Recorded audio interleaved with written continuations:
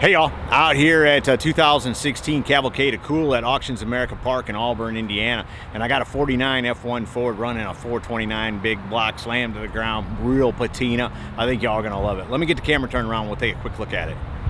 Ross, thanks for bringing the truck out, brother. Yeah, absolutely. Tell me a little bit about it.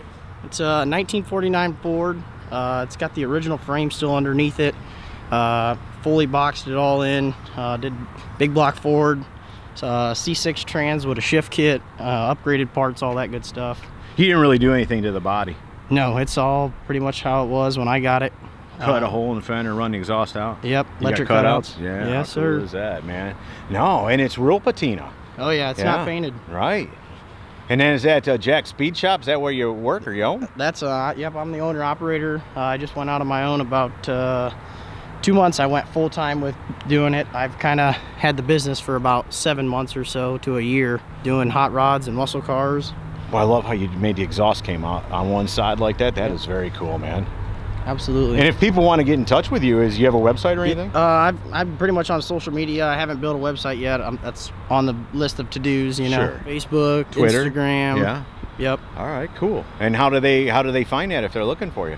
Uh, just Jack's Speed Shop. Everything is hashtag Jack's Speed Shop or at Jack's Speed Shop. It's all one word uh, on Instagram at least.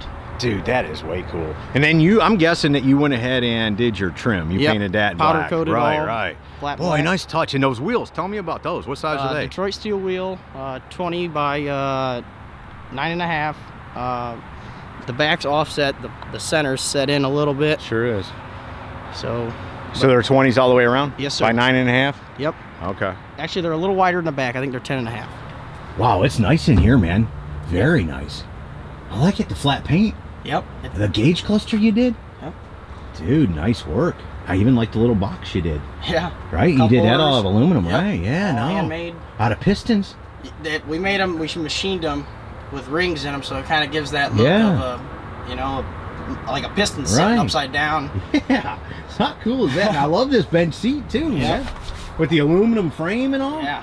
It's Dude. It came together. It sure did, man. No doubt about it. And this hot, this look is so hot right now. Oh, and yeah. this is this is just like the prime example of getting it right, man. Yep.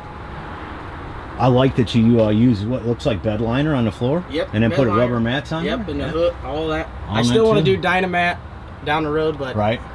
You're gonna leave the Dynamat exposed then? uh, I want to do like a, uh, a burlap Oh, headliner. okay. And trim it off. Right. And just, but yeah, Dude, you're on your way, man. You have got a cool truck going. thanks. Yeah. Dude, this truck is amazing. You know, I mean, it's got that rough, rugged look on the outside, but look it up underneath here. Tell me what you got going on. It's a Ford 9 inch with a posi track. Uh, did a triangulated four link suspension. Um, had uh, AccuAirs all hidden up underneath the frame. It's all clean and clear. I've got a, a valve or a airline connector on there, so if I can need to fill tires or any of that stuff, I got hoses in the truck to put tires, run You're air tools, kidding any of that stuff. Holy smokes, it's like a shop truck. It is, man. Yeah, like a pit truck. And then you beefed up the frame and all too? Those are water jetted out pieces of uh, steel. That way I didn't just do a standard step notch and I've got a two inch receiver on the back with a brake controller and I can haul a 30 foot enclosed shop trailer and cars in it and just cruise down the road. Dude, that is just awesome, man. And anytime I see a Ford, I'm always fingers crossed it's got a Ford in it, and you didn't disappoint. Not only does it have a Ford, but it's got a big block Ford in it. That's right.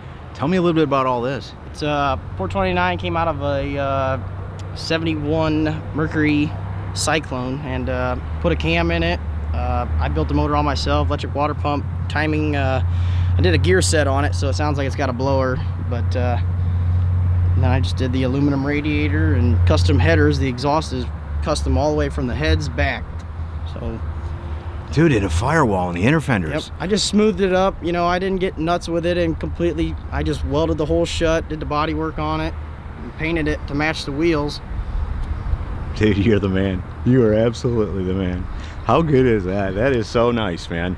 You know, I mean, I, and you know, I shoot Ridler cars, I shoot all the stuff, but Yep. I'm telling you, I appreciate good work, and I always say cool is cool. Yeah. And brother, that is cool. Thanks, man.